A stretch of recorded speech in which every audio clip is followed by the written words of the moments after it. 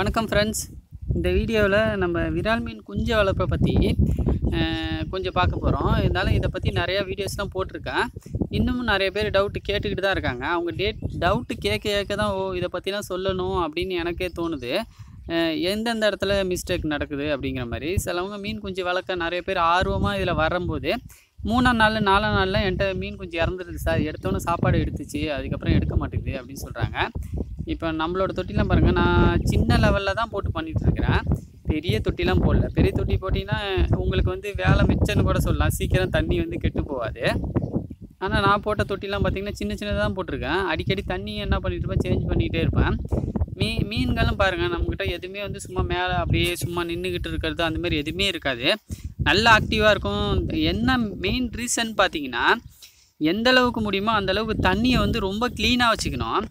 Sir தண்ணியை condition பண்ணுமா? பாசி பிடிக்கணுமா? அப்படிலாம் அந்த விரால் குஞ்சு விரால் குஞ்சுக்கு வந்து அவசியமே கிடையாது. ஆனால் தண்ணி வந்து எந்த அளவுக்கு க்ளீனாக இருக்கும் அந்த அளவுக்கு மீன் வந்து நல்லா சாப்பாடு எடுக்கும். நல்லா வளர்ச்சியும் நல்லாயிருக்கும் நல்லா ஆக்டிவாகவும் இருக்கும். இது ஒன்று தான் ரீசன் நீங்கள் எந்த அளவுக்கு முடியுமோ அந்த அளவுக்கு தண்ணி வந்து க்ளீனாக வச்சுக்கணும். இந்த மீனை பொறுத்தளவு எவ்வளோ நெருக்கமாக வேணாலும் வளர்க்கலாம். ஆனால் என்ன ஆகும்னா தண்ணி வந்து சீக்கிரம் கெட்டு போயிடும் அந்த தண்ணி கெட்டு போகாத அளவுக்கு நம்ம என்ன பண்ணிகிட்டு இருக்கணும்? திருப்பி திருப்பி சேஞ்ச் பண்ணிகிட்டே இருக்கிறது பெஸ்ட்டு சேஞ்ச் பண்ணுற தண்ணியும் பார்த்தீங்கன்னா டெம்பரேச்சர் சேஞ்ச் ஆகக்கூடாது. ஒரே டெம்பரேச்சரில் உள்ள தண்ணியை தான் சேஞ்ச் பண்ணோம். அதுக்கு நீங்கள் இந்த இப்போ நான் டேங்க் போட்டு இதில் என்ன தண்ணி டெம்பரேச்சர் இருக்கோ அதே டெம்பரேச்சரில் தான் தண்ணி வெளியில் எம்டி டேங்க்லேயும் வச்சுருப்பேன். அந்த தண்ணி தான் மாற்றுவேன் சப்போஸ் நீங்கள் தண்ணி டெம்பரேச்சர் மாற்றி மாற்றினாலும் இதுக்கு ப்ராப்ளம் தான்.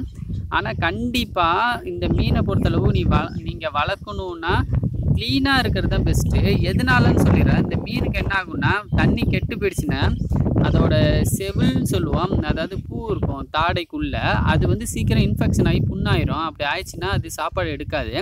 அதை தான் நம்ம நினைப்போம் என்னடா முதல்ல எடுத்தோன்னே சாப்பாடு எடுத்துச்சு அப்புறம் எடுக்கவே இல்லை அப்புறம் டெத்து அதிகமாகிட்டு இருக்கு.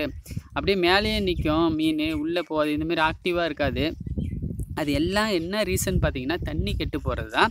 அதனால் எந்த அளவுக்கு நீங்கள் தண்ணியை க்ளீனாக வச்சுக்கிறீங்களோ அந்த அளவுக்கு இது வந்து சூப்பராக வளர்க்கலாம். நல்லா ஆக்டிவாகவும் இருக்கும் நல்ல வளர்ச்சியும் இருக்கும். இந்த வீடியோ உங்களுக்கு பிடிச்சிருக்குன்னு நம்புகிறேன் பிடிச்சிருந்தா சப்ஸ்கிரைப் பண்ணுங்கள் உங்கள் ஃப்ரெண்ட்ஸுக்கு ஷேர் பண்ணுங்கள் நன்றி. வணக்கம்.